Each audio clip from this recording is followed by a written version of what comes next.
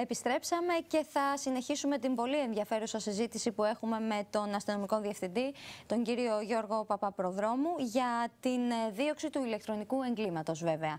Είχαμε μείνει, κύριε Διευθυντά, ε, σε, στη συκοφαντική δυσφήμιση και στον ψηφιακό εκφοβισμό. Και μας αναπτύσσατε πριν το διάλειμμα ε, πόσο σημαντική είναι και η σχολική ζωή για ένα παιδί και, πόσο, και πώς πρέπει τέλος πάντων να διαμορφώνεται αυτό το περιβάλλον, ούτως ώστε να μπορεί να ελέγχεται και το παιδί πολύ περισσότερο. Σωστά. Ε, καταρχήν να πούμε ότι το, το παιδί ως προτεραιότητα δεν είναι μόνο στον χώρο του σχολικού και τον εξωσχολικό που είναι, είναι αποτελεί προτεραιότητα για την ελληνική αστυνομία με όλες τις υπηρεσίες που διαθέτει. Και θα πρέπει να, ξε... να, να τονίσω ήθελα σε αυτό το σημείο ότι το αν έχει καταφέρει κάτι η διεύθυνσή μας το έχει καταφέρει μέσα από τη συνεργασία τόσο στο εσωτερικό, στο εγχώριο επίπεδο, με άλλες διευθύνσεις της αστυνομίας. Είμαστε η ελληνική αστυνομία με, με πολλές δράσεις.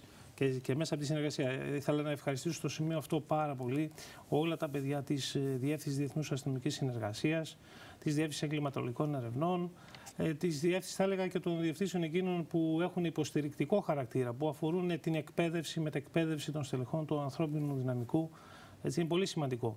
Αν καταφέρνουμε κάτι ως υπηρεσία, το καταφέρνει το ανθρώπινο δυναμικό, οι άνθρωποι του. Έχετε δίκιο. Έτσι. Δεν είναι τα μηχανήματα εκείνα. Όσο τέλεια και μηχανήματα να έχεις, εγώ προτιμώ τους τέλειους χειριστές. Οι τέλειοι χειριστές είναι που κάνουν τα μηχανήματα διαφορά και με ανθρώπινο πρόσωπο. Αυτό είναι το σημαντικότερο. Αυτό θέλω να κρατήσουμε. Δηλαδή, αυτή θα είναι η προσέγγιση μας και το μυστικό της επιτυχίας. Θα μείνουμε λίγο στο θέμα του ψηφιακού εκφοβισμού. Έχουμε μία ακόμη κάρτα. Τρόποι εκδήλωσης του cyberbullying. Ανάρτηση φωτογραφιών, βίντεο στο διαδίκτυο, ιστοσελίδες, blogs, chat rooms, ενοχλητικές κλήσεις και SMS στο κινητό τηλέφωνο με σκοπό το φόβο και την ταραχή. Ε, δημιουργία ιστοσελίδων που στοχοποιούν συγκεκριμένα άτομα, καλώντας άλλους να δημοσιεύσουν μηνύματα μίσους. Πείτε μας δύο λόγια. Ε, κοιτάξτε, είναι η συνέχεια του προηγού, της προηγούμενης ενότητας που συζητήσαμε. Είναι ο τρόπος με τον οποίο, δηλαδή το modus operandi, πώς γίνεται αυτό το πράγμα, πώς επιτυχάνεται. Ε, μια που είπατε όμως στο, στα θέματα μίσους, θέλω να τονίσω επίσης αποτελεί στην προτε, στις προτεραιότητες της υπηρεσίας μας και τα θέματα της ρητορικής του μίσους.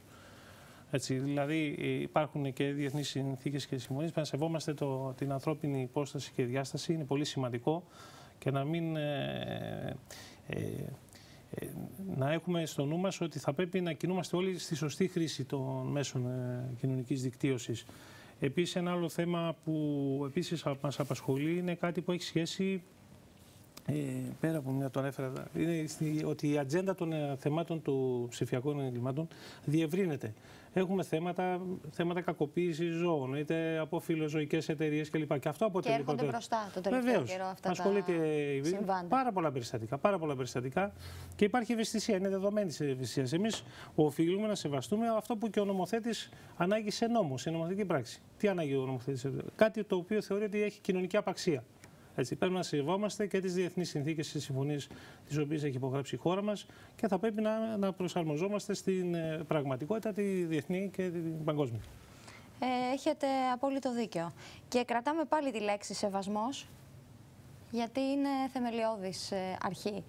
Ε, θα δούμε μια ακόμη κάρτα και θα κλείσουμε το θέμα με αυτήν του ψηφιακού εκφοβισμού. Τρόπος δράσης σε περιπτώσεις εκδήλωσης cyberbullying. Η επικοινωνία με το παιδί είναι το κλειδί. Κρατήστε όλα τα αποδεικτικά στοιχεία γιατί είναι χρήσιμα σε μια πιθανή ψηφιακή διερεύνησή τους από την ΔΔΕ. Εάν πρόκειται για γνωστό θήτη, είναι σημαντικό να ενημερωθούν οι γονείς και το σχολείο του. Πολύ σωστά θα έλεγα. Ε, καταρχήν, ε, όταν ε, θέλουμε κάτι να το διερευνήσουμε, είναι ε, πολύ σημαντικό να μην σβήσουμε τίποτα. Από, από είτε αφορά απειλητικό μήνυμα, είτε δυσμιστικό, οτιδήποτε τεκμηριώνει το έγκλημα, το αδίκημα. Ε, εμείς ως ε, διοκτική υπηρεσία έχουμε υποχρέωση και σύμφωνα και με τις διατάξεις του κώδικα ποινικής οικονομίας ε, να, έχουμε, να συλλέξουμε το αποδεικτικό εκείνο υλικό το οποίο θα το υποβάλουμε στην δικαιοσύνη. Ε, να τονίσουμε εδώ πέρα ότι καμία δίωξη, καμία αστυνομική αρχή δεν δικάζει. Έτσι. Συγκεντρώνει το αποδεικτικό υλικό εκείνο και το υποβάλλει στην ανεξάρτητη δικαιοσύνη υπό την εποπτεία ε, ε, της οποίας διεξάγεται όλη η ανάκριση ή προανάκριση.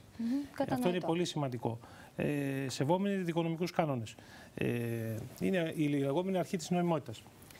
Εκείνο το οποίο θέλουμε να πούμε είναι ότι ε, δίνουμε έμφαση στην προληπτική διάσταση για να μην έχουμε τα δικήματα και από εκεί και πέρα είμαστε στη διάθεση του καθενός πολίτη που θέλει να απευθύνει σε εμάς. Πολύ ωραία. Αναφερθήκατε στην δικαιοσύνη και πριν από αυτό μιλήσατε για συμβάσεις, ευρωπαϊκές συμβάσεις που θα πρέπει να σεβόμαστε και εμείς σαν χώρα.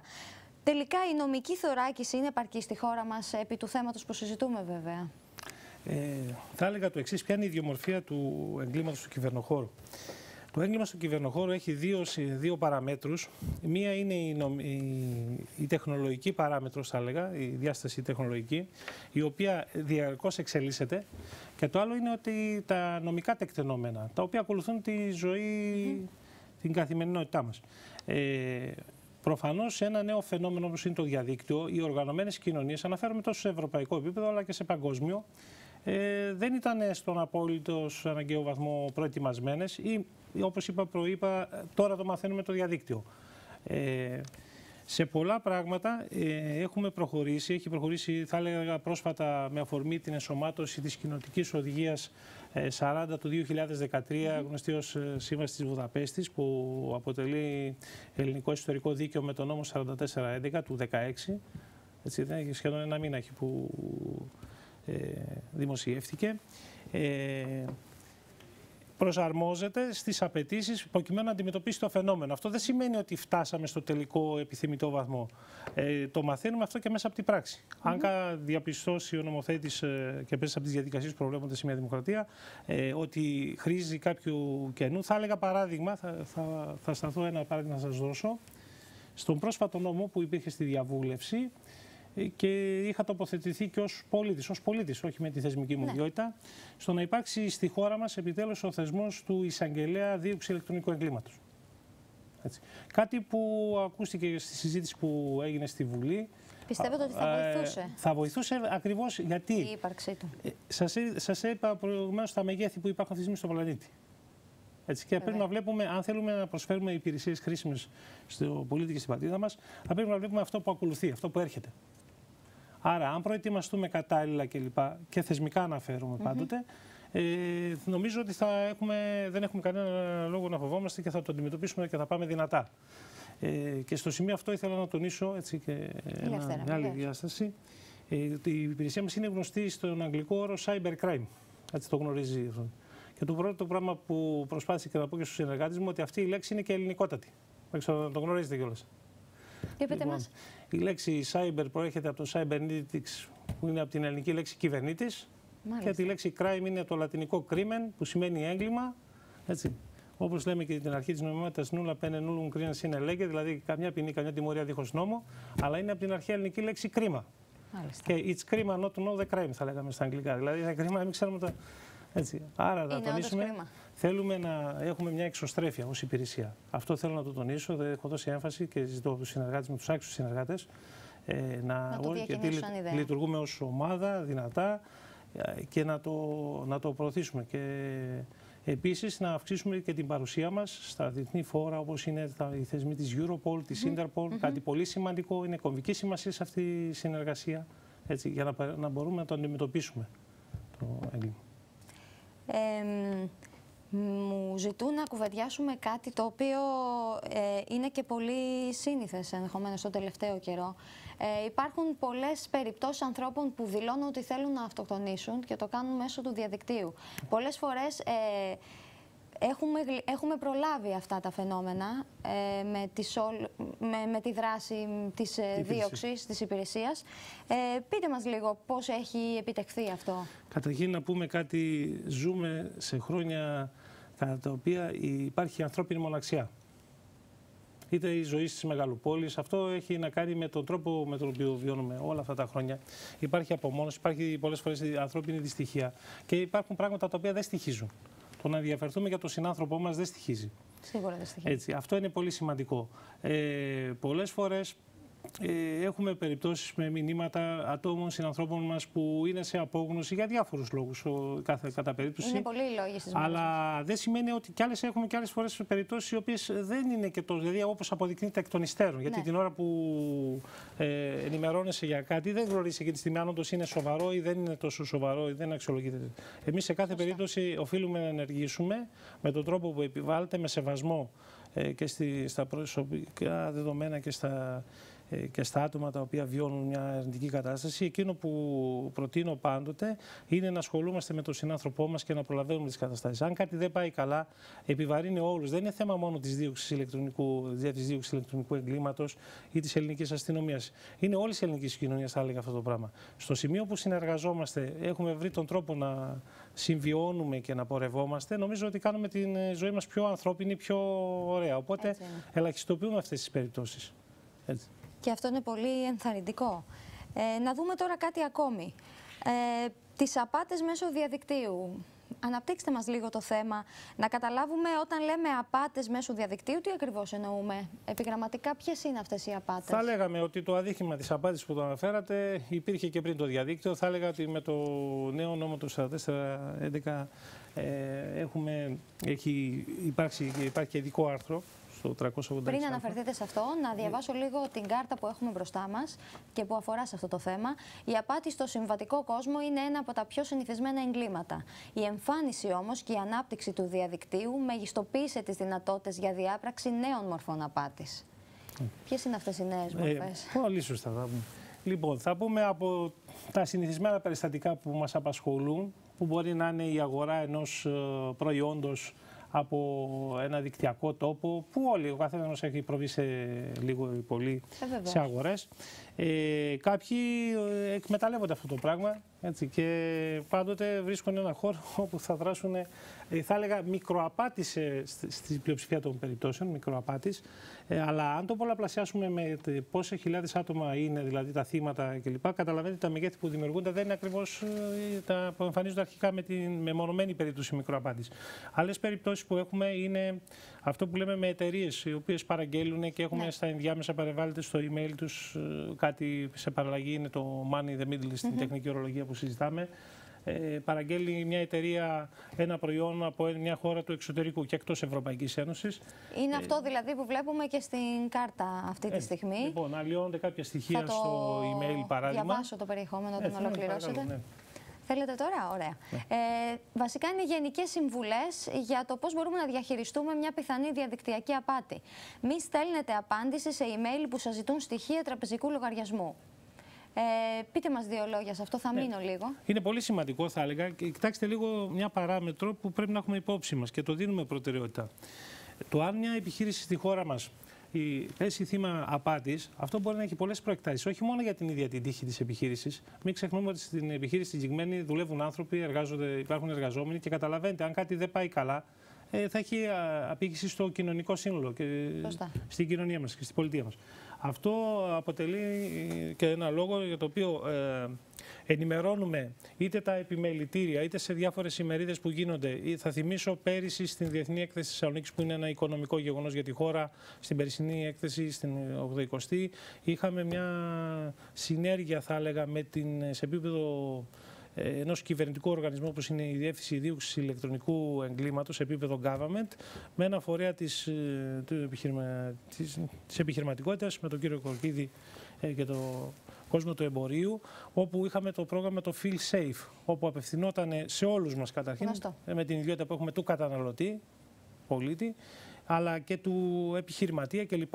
Με αφορμή δηλαδή όλα αυτά τα περιστατικά που αναφέρατε στην κάρτα πολύ αναλυτικά, ε, θέλουμε να ευαισθητοποιήσουμε τους ανθρώπους ε, του μόχτου, της καθημερινότητας και τη, ε, της- των επιχειρήσεων να ενημερωθούν οι άνθρωποι έτσι ώστε να μην υποστούν ε, σε βάρος τους κάποια πράξη η οποία θα έχει αντίκτυπο για το μέλλον της επιχείρησής τους. Στην ε, κάρτα υπήρχαν και δύο-τρεις ακόμη συμβουλές. Προσέξτε όταν σας ζητούν να βοηθήσετε στην κατάθεση ε, χρημάτων σε υπεράκτιους λογαριασμούς. Επιβεβαιώστε ότι η ιστοσελίδα που δηλώνετε τα στοιχεία της πιστοτικής σας κάρτας είναι ασφαλής και γνωστή στο ευρύ κοινό. Κρατάω και το τελευταίο, να είναι γνωστή στο ευρύ κοινό.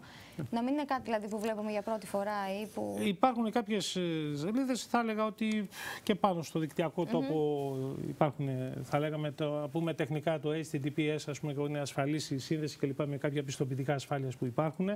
Ε, και σε κάθε περίπτωση ε, να, έχουμε το, να έχουμε υπόψη μας τις προπληρωμένες κάρτες. Έτσι, παράδειγμα, θα μπορούσε να είναι ένας ασφαλής τρόπος, ας πούμε, να περιοριστεί η ζημία, να μην είναι σε μεγάλο βαθμό. Σε κάθε περίπτωση, ενημερωνόμαστε. Είναι τόσο αναλυτικές οι οδηγίες που έχουμε και στο δικτυακό μας τόπο, που νομίζω, κυρία Μίτζια, ο καθένας θα μπορούσε να το δει και ειδικότερα ο κόσμος που προέρχεται από τον χώρο της οικονομίας. Και φαντάζομαι, ίσως αυτό είναι το πρώτο βήμα στην πρόληψη από τις απάτες και τους κινδύνους που κρύβει το διαδίκτυο. Και η ενημέρωση. Θα ήθελα να προσθέσω κάτι πρωτοποριακό που δεν το γνωρίζει και ο πολίτης κόσμος. Ε, υπάρχει δυνατότητα στα κινητά, ο καθένας, ο κάθε πολίτης, στα δύο, ε, θα έλεγα αυτές τις δύο εφαρμογές, το Feel Safe E-Commerce, το που λέγεται αισθάνομαι ασφαλής, δηλαδή το ηλεκτρονικό εμπόριο, το e-commerce, ε, και το άλλο είναι το CyberKit. Είναι δύο εφαρμογές που κάποιος μπορεί να κατεβάσει ελεύθερα στο κινητό του, mm. όπου όλες αυτές οι συμβουλές που λέμε αναλυτικά και ακόμη και να μην έχει τα μαζί του κάποιο φυλάδιο που δίνουμε σε εκθέσεις ή σε εκδηλώσεις κλπ, θα μπορεί να το έχει στη διάθεσή του και να του είναι χρήσιμο σε ανύποπτο χρόνο. Πολύ ωραία. Θα μείνουμε τώρα λιγάκι σε κάτι που κουβεντιάσαμε και λίγο στην αρχή. Θα το δούμε όμως λίγο πιο αναλυτικά. Τι, τι πρέπει να γνωρίζουν οι γονείς και τα παιδιά και σίγουρα πρώτα οι γονείς για να μπορούν να βοηθήσουν τα παιδιά τους για τις απειλές, όλες αυτές τις απειλές που κρύβει το διαδίκτυο. Θα ήθελα να μείνουμε λίγο σε αυτό, ναι. γιατί όπως είπαμε, το παιδί σε πολλές ε, εκφάνσεις της κοινωνίας είναι πρωταγωνιστής. Εγώ θα έλεγα αυτό και τώρα θα σας μιλήσω όχι με την ιδιότητά μου του διευθυντή, αλλά την ιδιότητα του γονέα που θεωρώ σημαντική και ιερή. Λοιπόν, και δεν, δεν, δεν ξεχνάμε. Θα πρέπει να γνωρίζουμε τα παιδιά μας. Θα έλεγα το πρώτο πράγμα, έχουμε μοναδική ευκαιρία στη ζωή μας να γνωρίσουμε τα παιδιά μας. Έτσι, μπορεί ο φόρτος εργασίας να είναι μεγάλος, ο καθένας στο χώρο του και αυτά που βιώνει το αντιλαμβάνεται. Όμως εκείνο που θα ήθελα να πω είναι να γνωρίσουμε τα παιδιά μας, να συζητούμε, να έχουμε το θάρρος να διαχειριζόμαστε το λάθος. Είναι πολύ σημαντικό. Ε, δεν είναι, νομίζω κάποτε, θα σας πω έτσι ένα, ε, μια ιστορία ως ανέκδοτο το πούμε και ευχάριστα. Κάποτε ρωτήσαν ένα πετυχημένο επιχειρηματία, λέει, ποιο είναι το μυστικό της επιτυχίας σας. Λέει, σωστές αποφάσεις. Και το μυστικό λέει για τις σωστές αποφάσεις, λέει εμπειρία. Και το μυστικό λέει για την εμπειρία, λάθος αποφάσεις. Δηλαδή, δεν γίνεται κανένας να τα ξέρει. Ακριβώς. Να καθίσουμε κάτω να, να συζητούμε με ειλικρίνεια τα λάθη. Τα λάθη ε, να είμαστε πιο ανθρώπινοι τον περιβάλλον. Δεν είναι μόνο ο εαυτός μας και τίποτα άλλο. Έτσι, σε αυτή τη ζωή πρέπει να είμαστε ε, απέναντι στη συνείδησή μας και, στη, και στον κόσμο που μας περιβάλλει να είμαστε πιο ειλικρινείς. Και ίσως και λίγο πιο ελαστικοί. Βεβαίως. Έτσι δεν είναι. Για να δούμε μία συμβουλή για τους γονείς. Ε, τοποθετήστε, προτιμήστε να τοποθετήσετε τον ηλεκτρονικό υπολογιστή σας σε χώρους όπως είναι το σαλόνι και όχι στο υπνοδωμάτιο του παιδιού. Έτσι θα έχετε τη δυνατότητα να επιβλέπετε το παιδί σας χωρίς το ίδιο να αισθάνεται ότι ελέγχεται. Γιατί και αυτό είναι πολύ σημαντικό. Όταν το παιδί αισθάνεται ότι ελέγχεται, κλείνεται στον εαυτό του. Αισθάνεται δηλαδή ότι πρέπει να κρύψει αυτό που κάνει. Ε. Λοιπόν, είναι πολύ σημαντικό. Ε, καταρχήν, στον χρόνο που βρισκόμαστε στο σπίτι, να το φέρνω αντίστοιχα δηλαδή, όποιος χρόνος μένει, θα, θα έπρεπε να είναι όσο γίνεται, είπαμε, να διευρύνουμε αυτή την κοινωνικότητα μέσα στο σπίτι. Ε, οπωσδήποτε το να, έχει το, να υπάρχει το υπολογιστής σε ένα κοινό στο χώρο βοηθάει πάρα πολύ. Ε, και επίσης να συζητάμε με το παιδί μας, να ενδιαφερόμαστε ακριβώς ε, και μέσα από τη συζήτηση νομίζω προκύπτει η σωστή χρήση. Έτσι. Ε, το άλλο είναι θα μπορούσαμε να βάλουμε κανόνες τώρα ανάλογα και την ναι. ηλικία. Έτσι να είμαστε αυτό. Μην ξεχνάμε. Μιλάμε ότι... κυρίως για ανήλικα. Ναι, για ανήλικα σημαίνει όμως ότι και ο γονέας, η μητέρα και ο πατέρας έχουν εφήβου. κάποια ευθύνη έναντι της συμπεριφοράς του παιδιού, αν κάτι συμβαίνει στο διαδίκτυο. Και εκεί θα ήταν καλό να εξηγήσουμε και τους και τους κανόνες αυτούς στο παιδί.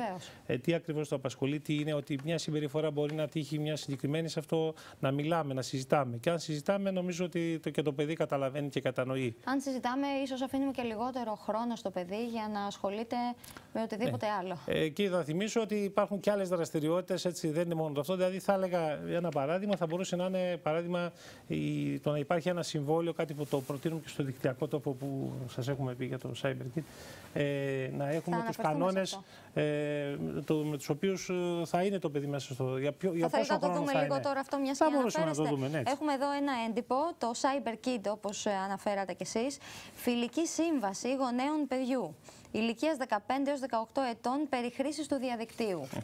Για να δούμε λίγο το περιεχόμενό του. Λοιπόν, θα έλεγα. Θα, θα, το, παρουσιάσουμε. Ναι, αν είναι εύκολο. Ναι, ε, ε, με τη βοήθεια θα, του. Θα λέγαμε ότι μας. μια σύμβαση έχει δύο μέρη. Στη συγκεκριμένη περίπτωση έχει το παιδί και τους γονείς, σαν συμβαλόμενα μέρη. Όπου ο, κάθε, η κάθε πλευρά έχει τους όρους της, ας πούμε, για να γίνει η σύμβαση και να μπορεί να γίνει σωστή χρήση του διαδικτύου. Έτσι, για παράδειγμα, στην πληθυσμιακή ομάδα που αναφερόμαστε εδώ στο συγκεκριμένο έντυπο που κρατάτε στα χέρια κυρία Μίτζια, είναι, ε, λέει για παράδειγμα, θα χρησιμοποιώ τον υπολογιστή με συνείδηση. Ας πούμε. Θα προσέχω ότι στο ιστοσελίδε που επισκέπτονται να τηρούν τους κανόνες ασφαλείας αυτούς που είπαμε πριν. Αν κάποιος άγνωστος μου στείλει email, δεν θα το ανοίξω. Προσέχουμε γιατί μπορεί να είναι ιός ή μπορεί να είναι το υπολογιστή της επιχείρησης του ναι. πατέρα μου ή της μητέρας μου και να κλειδώσουν αρχεία και καταλαβαίνετε τι σημαίνει αν κάποιος, ε, για παράδειγμα, είναι συμβολιογράφος και κλειδωθούν τα αρχεία του. Τι ναι. σημαίνει επαγγελματικά. Τι σημαίνει για την επιχείρηση να έχει μέσα εκεί να κρύβεται ένας ιός κλπ. Λέμε παράδειγμα έτσι και να έχει ναι, συνέπειες. Δεν θα δώσω σε κανένα τα προσωπικά μου στοιχεία Είδαμε ότι πολλά περιστατικά που καταλήγουν να έχουν ατυχή έκβαση. Ξεκίνησαν από αυτό. Ακριβώς. Ε, δεν συνομιλώ στο διαδίκτυο και δεν έχουμε να συναντήσω άτομα. Έτσι, είναι βασικοί κανόνες. Δεν κάνω τίποτα που μπορεί να ενοχλήσει, να στενοχωρήσει, να βγει επικίνδυνο για τους φίλους μου ή τους άλλους χρήστες του διαδικτύου. Δηλαδή, πολλές φορές μπορεί να βάλουμε σε κίνδυνο και τους άλλους ανθρώπους. Έτσι, χωρίς να φταίνει. Λοιπόν, και από, το, από την πλευρά των γονέων θα λέγαμε, εκεί πέρα λέει να δεχτώ να βοηθήσω και εγώ σε περίπτωση που δεν γνωρίζω κάτι κλπ. Έτσι, είναι... Πολύ ωραίο και νομίζω ότι μπορεί να βοηθήσει πραγματικά ε, στην πρόληψη των φαινομένων του διαδικτύου. Του, των αρνητικών φαινομένων βέβαια. Έτσι. Έχουμε ακόμα μία κάρτα. Συζητήστε με τα παιδιά σας για θέματα ασφάλειας. Επικοινωνία με επικίνδυνα άτομα, για παράδειγμα, πρόσβαση σε sites με βλαβερό περιεχόμενο που προκύπτουν από την πλοήγηση στο διαδίκτυο. Όπως είπατε, αυτό πάλι έχει να κάνει με την επικοινωνία που πρέπει επικοινωνία, να Ακριβώς. Και από την άλλη, πάντοτε, εκείνο που θέλω να περάσουμε σε ένα μήνυμα, ε, δεν είμαστε στη ζωή αυτή μόνοι μας. Και θέλουμε να ξέρουμε και είμαστε πολύ ισχυρότεροι όλοι μας ως κοινωνία ότι όταν γνωρίζουμε, όταν κάτι είναι, είναι εξελίσσεται σε πρόβλημα και επιβάλλει τη διαχείρισή του, ότι σε αυτό το πράγμα υπάρχουν άνθρωποι που μπορούν να μας βοηθήσουν. Και στη συγκεκριμένη περίπτωση είναι η Διεύθυνση Δίωξη Ηλεκτρονικού Εγκλήματος του Αρχηγείου της Ελληνικής Αστυνομίας, αλλά και οι άλλες δράσεις της Ελληνικής Αστυνομίας, όπως και σε άλλες δράσεις η Ελληνική Αστυνομία, δίνει το παρόν της δίπλα στον πολίτη σε όλη την ελληνική επικράτεια, σε όλη τη χώρα μας. Θα ήθελα να ρωτήσω κάτι, ε, καθώς φτάνουμε στο τέλος της συζήτησης. Υπάρχει τρόπος, ε, συγκεκριμένος τρόπος, πραγματικός τρόπος, να μπορέσουν οι γονείς να φιλτράρουν το διαδίκτυο, αποκλείοντας έτσι ε, ιστοσελίδες ίσως που είναι επικίνδυνες για τα παιδιά; Ναι, θα έλεγα ότι σε επίπεδο καθημερινότητας, σε τεχνικό δηλαδή, υπάρχουν κάποια προγράμματα τα οποία κάποιος μπορεί να αναζητήσει και να ψάξει για θέματα αυτό. Αλλά θα έλεγα πέρα από τα προγράμματα, το ουσιαστικό και εκείνο είναι το σημαντικότερο, είναι η ανθρώπινη προσέγγιση. Αυτό είναι το, για μένα το καλύτερο λογισμικό, θα έλεγα, στην, που αντιμετωπίζει το συγκεκριμένο θέμα. Η πραγματική και ουσιαστική και ανθρώπινη επικοινωνία. Αυτό, αυτό νομίζω ότι κάνει έτσι. Το ότι υπάρχουν κάποια προβλήματα, βεβαίως υπάρχουν τα οποία εξελίσσονται και λοιπά που μπορεί κάποιος να αναζητήσει και, όσο λοιπά. το ψάχνει κάποιος, σίγουρα μπορεί κάτι να βρει. Επίσης, ε, και ως μάθημα από ό,τι γνωρίζω και στα ολοήμερα σχολεία, αλλά και στα γυμνάσια και λύκεια της χώρας μας ε, και στο πλαίσιο του μαθήματος της πληροφορικής που διδάσκουν τα παιδιά και εργασίες που μπορούν να κάνουν να αναπτύξουν μέσα σε δραστηριότητες, τις οποίες και εμείς εδώ στην υπηρεσία ενθαρρύνουμε όταν κάποιος χρειαστεί τη βοήθειά μας πάνω σε αυτή την κατεύθυνση, είμαστε στη διάθεσή τους και επικοινωνία να πηγαίνουν στα σχολεία μας. Όλα αυτά μαζί. Πριν ε, ολοκληρώσουμε την κουβέντα μας, θα περάσουμε να δούμε ξανά το βίντεο της δίωξης του ηλεκτρονικού εγκλήματος του Αρχηγείου της Ελληνικής Αστυνομίας και θα επιστρέψουμε για να καληνυχτήσουμε. Κάνω παρέα με παιδάκια 12-14 ετών. Κάνω και με μικρότερα. Τα βρίσκω στο ίντερνετ. Μπαίνω σε chat rooms, σε ηλεκτρονικά παιχνίδια. Τα ρωτάω πόσο χρόνο είσαι, σε ποιο σχολείο πας, Κάποια τα βάζω να μου στείλουν και φωτογραφίες τους. Με μαγιό. Αν τα αφήσει η μάνα τους ή κάνουν κοπάνα από το σχολείο, βρισκόμαστε σε κάποιο πάρκο, σε κάποια παιδική χαρά, μπορεί και έξω από το φροντιστήριο αγγλικών τους. Δύο από αυτά κατάφερα να τα πείσω να έρθουν και σπίτι μου. Μ' αρέσουν πολύ τα παιδάκια. Μην ανησυχείτε όμως. Δεν πρόκειται να με καταλάβει κανείς.